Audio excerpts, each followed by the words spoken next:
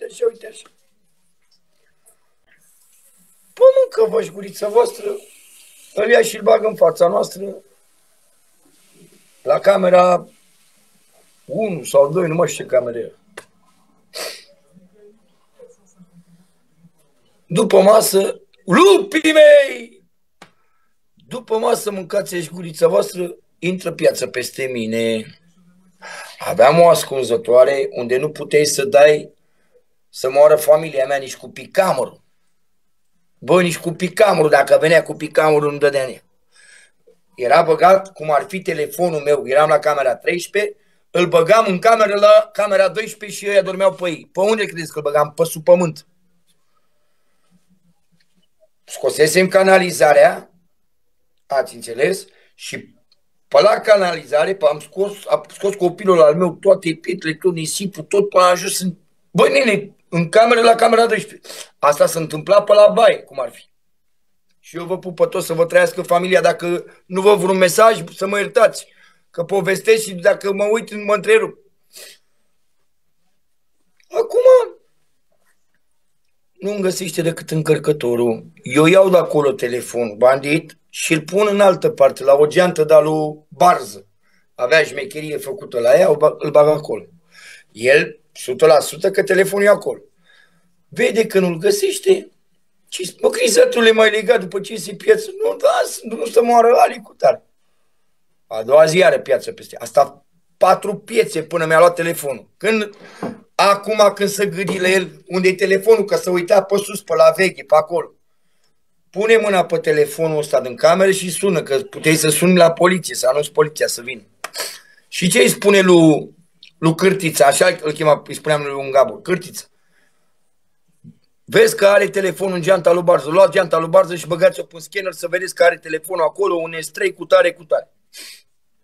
Să ducem în cavaș gura voastră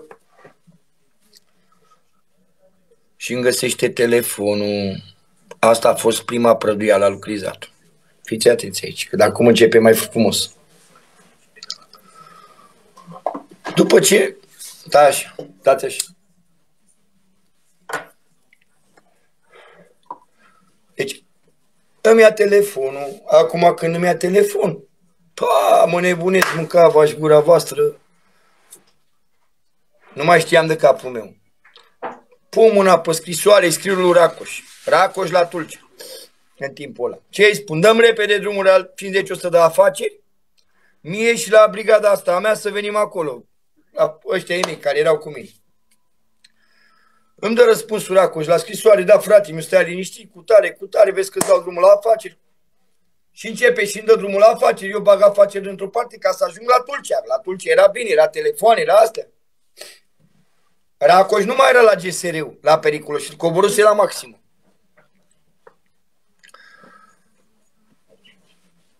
Vroiam să plec pentru că nu mai erau telefoane în colibaș, iar eu nu puteam să stau fără telefon. Nu puteam să stau dacă mă omorai. Îmi băgasem atunci, apușease cardul, bani, vorbeam pe că era 30 de minute, atât aveai voi, 30 de minute și 3 apeluri. Și dacă îți răspundea, de exemplu, aveai uh, căsuță și îmi răspundea căsuța de 3 ori, mai sunai în ziua aia, pula voastră. În fine. Nici una, nici două plec la Tulcea. Într-o lună de zile îmi vine afacerile făcute de Racuș, făcute de noi. Îmi vine afacerile și plec la Tulcea cu toți după mine. Când ajung la Tulcea, eu mai stătusem la Tulcea un an jumate. Când m-a văzut director și a pus mâinile în cap. Mai ales că acum mai venit și cu 5 după mine. Și mai venit și încă trei înaintea mea, că lui a revenit să afacerile înapoi. Ce îmi spune? Nu te țin aici. Păi ce am făcut tătuțule cu tare, eu cu vrăjeală, cu nimic să moară fata mea. În fine, intrăm în cameră. Intru în cameră. Când am ajuns acolo, îl pune Poracoș la Slobozia că îi schimbă și face recurs, mâncava și gura voastră, îi schimbă sistemul și îl dă de la, de la maximă siguranță la închiși și de la închiși îl mută direct la Slobozia. Și iară pleacă Racoș. Mint, dacă nu mint. Mint, mint, mint. Era încă la maxim, încă nu plecase. Eu am plecat, tot eu am plecat. El venise la maximă, că atunci eu eram certat cu Folfegi. Și el s-a pus în mijlocul la toată curtea. Moară frații mei care are ceva cu tine să spună acum că sunt aici eu în curtea ta exact cum ai fi tu. Spune Racoș, de față cu toți. Cu Marian Folfeagă, cu tăia care era acolo. Și Marian Folfeagă săgezi multe și el, nici el prost, și el un bax de ulei aici, unul aici, la o treabă. Înțelegeți? Avea și atâta mai brațele. Bă, mâncava gura voastră, ce face crizatul? Crizatul al meu rămăsese la lupul meu. Ropo, ropo, te iubesc. Rămâne crizatul la colibaș. Ce credeți, mâncava gurița voastră, din cauza la un telefon? Să duce el, vorbește cu Dinișor, îi face cărțile, îl pune în legătură cu dicotul, să lege pe Bufi, pe Boienică, pe Giania lui Șobolanca, cu marfă, pe Giania lui Șobolanca min, cu metadoane, și pe Bufi și pe Boienică, să-i lege cu marfă. Îi dă dicotul un telefon de ăsta pe butoane.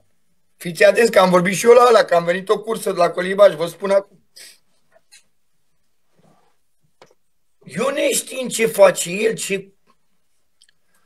Bă, mâncava gura voastră, o pune pe nevasta să pună bani lui Bufi pe marfă, cu chitanța de la Western Union, îl leagă pe Bufi, mâncava și pula voastră care Bufi, frate, cu noi, mâncase, mânca cu noi, mâncase cu noi, plecase de la noi din cameră, de la GSR, plecase la maxim.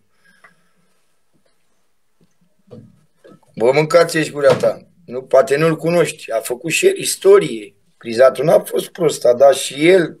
A fost mână de dat, până i-a putrezit mâna, a durat ceva timp, vreo 20 de ani. Eu îi dau cezarului ce al cezarului, v-am spus, eu nu vă mint. Dar îi, îi putrezise mâna și după aia a început să se strice. Bau, bau, Păi este, este. E nevinovat. Bă, mâncava gurița voastră. Nu a fost mâncață gurița ta, titi. Ce mint? Tu știi mai bine. Nu a fost, dar uite ca să vezi și tu, după atâția ani de glorie, după atâția ani de suferință, de izolări, păi să moară foata mea de acolo am de la început, eu am făcut tot 13, din 13, am intrat cu 5 și am făcut 13. Mi-am luat o mandat, eu câte lume nu puteam să leg. Eu mi-am, o, aveam pe nevastă mai uite așa față în față cu mine și uite așa plângea și ne-am legat un gabor. Că am zis dacă azi leg un gabor, îmi intră în ADN și mâine leg un hoț. Și mă obișnuiesc și așa îmi rămâne pe urmă. Să moară foata mea dacă piticul a legat nici măcar gabori. Da? Intrați pe, pe, pe net să vedeți Toboșarul Alexandru Valentin, frizatul, da? Cum a legat și Gaborii care ne aduceau telefoane, că scrie acolo. Da? Ca să nu credeți că eu vă mint. Acum am mâncat gura voastră, aud ce face crizatul. El o ținea una și bună, că nu e adevărat. Să băgați în cameră cu cine credeți? Cu Căsăneanu care era cel mai tare prăduitor posibil. Că să neanul ăsta mâncați gurița ta, Elena, crede-mă ce spun, era mâna dreaptă a lui Dinișor. Dinișor, cine era Dinișor? Ceistul, fusese fost director la Colibaș și ajunsese ceist. Ceist ce înseamnă? Care nu știe. Ăsta care leagă gaborii, care e un, e un fel de procuror. Ca să înțelegeți voi care nu știți ce e la ce este. Și Crizatul să pusese mână-mână cu ăla. Ia uite cum credeți că îl suna din cameră. Îi spunea, cum îi spune el lui Socrus, Ticule, ă, vezi că vreau să ies la cumpărături. A, eu vă spun ce mi-a povestit Barză, mi-a povestit ăștia din cameră. Ticule, ă, vezi că ă, ăsta plecat după secție, tot să uită pe la ușă, pe la mine. Ticule, vezi că să la cumpărături. De câte ori nu venea ceva, îl contacta pe Ticu, adică pe Dinișor, dacă vă minți, dacă vă minte pe Ticu cu vreun cuvânt.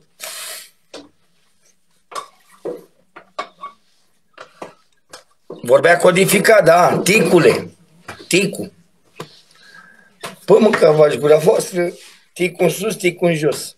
Îl pune ticu să-l mai lege pe unul pe spital cu droguri. Să duce ei până pe spital, le bagă ticu încă două telefoane și nu știu cum face mâncava gurița voastră să lege pe unul cu marfă și îi dă o pereche de ochelari de ea cu cameră de la vedere. Ascultați-o pe asta să le șineați de râs din PPD-ul, de unde i-a dat ochelarii cu, cu camera de la vedere și până la spital era ceva de mers, care știe la colibaș.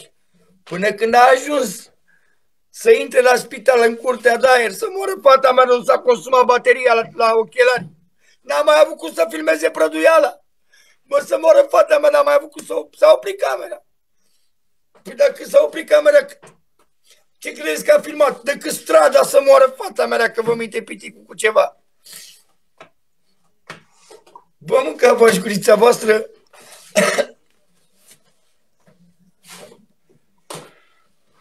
Ce îi spune lui Ticu?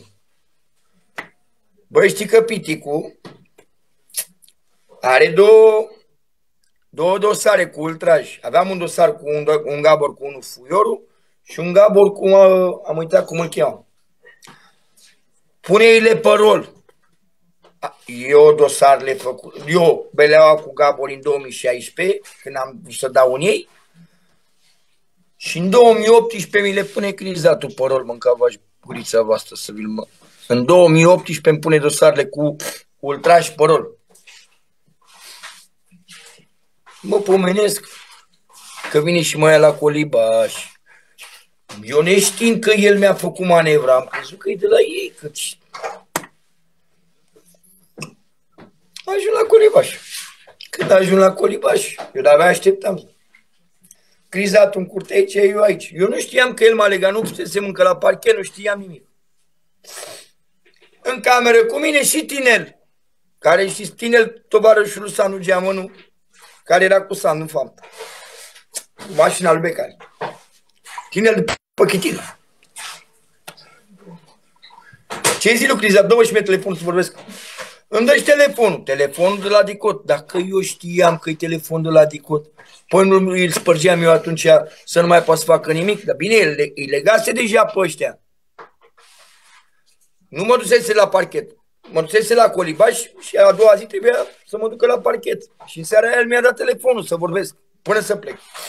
Mă duce la parchet. Când mă duce la parchet, ca martor. Zic că că e bine. Dau declarații, ce credeți mă, ca gura voastră, ca martor, după ce dau declarații, ce crezi că spun? Ești inculpat. Cum mă? Mersi Florine să trăiască tot ce iubești. Cum mă? Inculpat. Nu foaia mă, ca gura voastră, stare pe mine, mascați. Să moară nevastă mea de vomit, nu mai mi-am făcut încă un dosar cu rupere de documente, nu știu cum, că deja era înregistrat de procuror. Și plec din pachet cu încă un dosar ajung înapoi la pușcărie, ies și mă afară. Acum, eu stăteam cu el și vorbeam. Și la un moment dat îi spun, bă, Crizat, mă, ce a fost cu telefon, cu telefon? Bă, să dea Dumnezeu să moară fata mea. De nu m-am gândit la toate variantele posibile și imposibile. Să pot să spăl rușinea asta. Crizatule, și dacă te fuți în cur, cu rușinea asta nu mai ai cum să scoți. Ce, domne, dă în pula mea că mă lase pe mine când vrei să-mi misca de ea, să taie iar ce am executat din cauza lui Bufi. Din... Bă, zic că ești nesimțit, pe ce mă să stai ție pe ce ai executat? Tu cumpărai droguri, mă, nebunule, de la ei. Nu vindeai, mă, tu ca să stai ție. Asta a fost vrăjeala lui, mersi Florinele, trăiască tot ce iubești. Asta e vrăjeala ta. Păi el cumpăra marfă de la, ei, de la el. Dacă cumpără cineva marfă de la mine, cum poate să lege pe ăla care cumpără? Pe ce să lege? Pe consum? Nu, mai să, nu era atunci, nu mai era pe consum. N-avea pe ce să lege. Bun, pe Geane i-a și Bolan, că a luat metadoane de la el. Pe la de ce l-a legat? Înțelegeți? El, una și bună, l-a garat pe capul meu, că vezi, Doamne, i-a zis lui aia că, că, că-i taie ce executat, dacă nu spune și... Of, mâncați și pălăria ta, Florinelul meu, să-ți trăiască tot ce iubești. Mersi să rămână la familia ta. Deci nu avea, asta era vrăjeala lui. Mersi, Ionuț. Mai trag și eu în țigare că dacă am ținut prea mult și în baie să fumeze, acum mă ține TikTok-ul într-o parte pe mine. E. Și zic, bă, crizatule, ești nebun la cap cu cine vorbești cu ăștia care te știe de două ore? Vorbești cu mine, e nebunit la cap. Și eu, șefule, te salut să-ți trăiască tot ce iubești, sănătate. Și vorbești cu mine, e nebunit la cap. Ți-e puțin rușine așa să mai pe mine cu vrăjeală prost organizată, să-mi spui mie că stai ce executat, că vrăjeală, că una, copii compărți.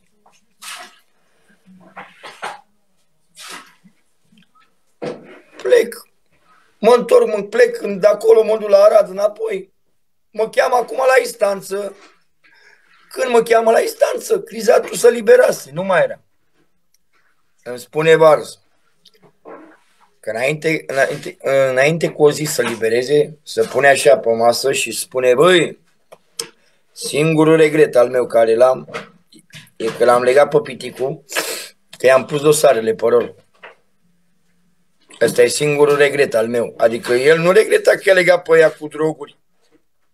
Și a băgat-o pe măsa lui Bufi în pușcărie, femeie bătrână țiganca, în calitate care femeia mai fusese condamnată 10 sau 11 ani, nevasta lui Ciorbilă, Elena. Da? Lenuță. Deci, îi dă lui măsa lui Bufi 7 ani, îi dă lui Bufi 5 ani, îi dă lui Poenică 5 ani. Mersi să-ți trăiască tot ce iubești. Chiorul Dumnezeu să-l ierte. Chiorul al lui Ciorbilă, când aude că o condamnă pe măicuța lui, îi bubuie o venă la cap și moare în pușcărie la Giurgiu. Ca să vedeți și voi unde s-a ajuns de la o prăduială mâncava și gura voastră. Bă, dați seama, era măsar la durut. Era normal să fie nervos, să fie supărat. Mânca pastile, ce făcea el, să droga nu știu ce. Te iubesc nevastă. Uh, era normal. Ia stați așa să văd dacă e să mi-o bag și eu pe nevastă mea pe aici. A, n-a vrut să intre, am crezut că a vrut să intre. E, deja să făcuse prăduiala, deja să făcuse nenorocirea mâncava și gura voastră, vă întreb eu pe voi. Ce mai puteam să fac eu pentru crizat ca să-i scot eu rușine? Nu mai puteam să fac nimic.